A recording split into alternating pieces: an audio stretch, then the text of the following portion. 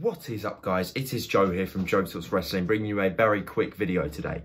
Now, the big question that I've been asking myself recently is, am I going to do a Christmas special? Obviously, this time last year I was not in the situation that I am uh, this time. Obviously, last year I only had about 200 subscribers, so you know, there wasn't any point in me doing like specials for the holidays.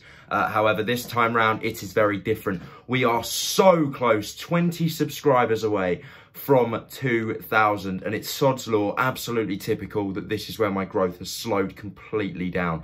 But nonetheless, I am bringing you guys a Christmas special involving, well, I don't want to give away too much, involving Kip clips. So be sure to stay tuned. Christmas Day at 1 p.m. British time, we will be showing you a Christmas special video, a video that I have made for you guys, including Kip clips, just for you guys on Christmas. I do hope you are going to enjoy it. It should be a good one. Anyways, I've been Joe from Joe Talks Wrestling. You guys have been awesome. I will see you. Hopefully, I want to get a few more videos up before Christmas. But if not, you know, I will see you very soon.